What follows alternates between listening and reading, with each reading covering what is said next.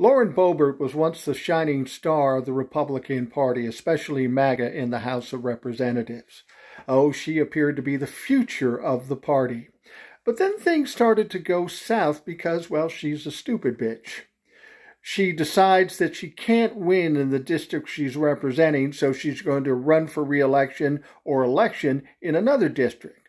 But it turns out her prospects there are even fucking worse. Then she goes through a messy divorce, and it's ugly. There's violence and all kinds of crazy shit going on.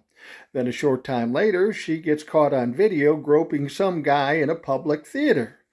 What else could possibly go wrong? Well, it wasn't over yet because yesterday her 18 year old son was arrested on 22 counts of theft of property and vehicles. Shit, that's not going well. Lauren Boebert is going through some things. She's not going to be reelected to the House of Representatives, and her life is an absolute mess. And she's got an 18 year old son that's looking at fucking jail time. Not to mention Lauren Boebert, if her name comes up in the superseding indictments regarding the insurrection, she got some problems there too.